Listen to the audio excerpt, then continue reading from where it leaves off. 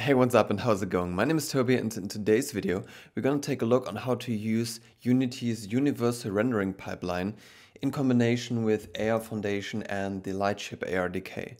So in this um, project here I got a very simple setup, just a normal standard 3D project. I installed Lightship, uh, the Lightship ARDK and I've just created a very simple scene using uh, meshing where you can just place down objects, they will cast a nice shadow and if we build this on our phone, everything looks the same uh, as you can see here. All right, so now if we want to upgrade to the universal rendering pipeline, we would go to a window package manager and then go to the Unity registry and enter uh, universal, universal, oops, universal, like that. And then we would have universal RP and would simply hit uh, install. Alright, so once this has finished, we can go to create and then go to rendering and select the URP asset with universal renderer.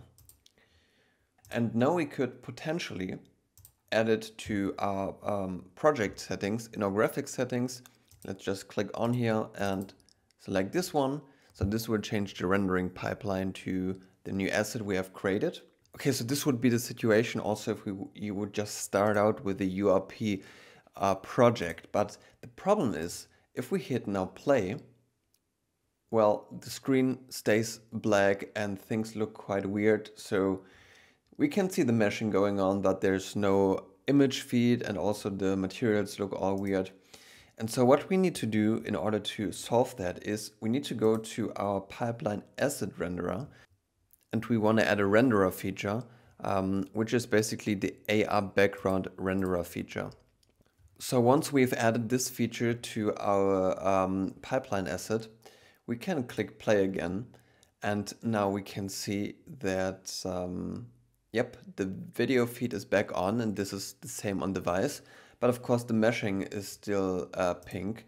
So of course what we would need to do then is we need to go to our materials, for example this red material that I have over here, go to edit, rendering materials, convert selected, built into URP. And so for example for the material of uh, the sphere that we are placing this works. However, if we know on a mesh prefab, we see that here should be a shadow catcher material, and this is the one from the Lightship ARDK samples. But this one is not even showing up in our assets anymore because it's using some kind of shader that is not longer working. So for this one, if we want to have shadow catching in uh, AR using URP, there's actually a pretty nice asset in the Unity Asset Store. It's um, by DevDunk Studios let's quickly find it um, in our um, assets. Okay, so here it is, Shadow Receiver URP free. Of course, there will be a link in the description, so we can just download and import it.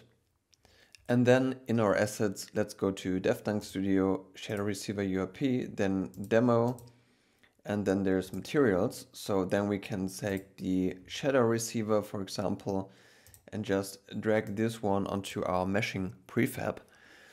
And now if we click play, everything should be working again. So let's find out. Okay, so we do not have um, any kind of pink materials. And if we click somewhere, yep, we're here again. Of course, we need to adjust the shadow quality a bit in our settings, but that's the way that you make URP work with Lightship and AR Foundation. Okay, so there's one more thing I want to show you.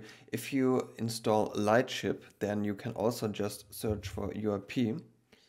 And if we click on this little eye icon here, then um, and search everything, so sometimes things might be hidden, then you will find the Lightship URP renderer already um, here. So you wouldn't need to create a new um, render asset actually if you're inside of URP. And also if you're using any kind of occlusion, then you will also need to go um, to back to the um, render pipeline asset renderer and also add uh, the a Lightship occlusion extension. Alright, so that's it for this video. A quick tip. I hope it was uh, useful for some of you guys and thanks a lot for watching and see you next time.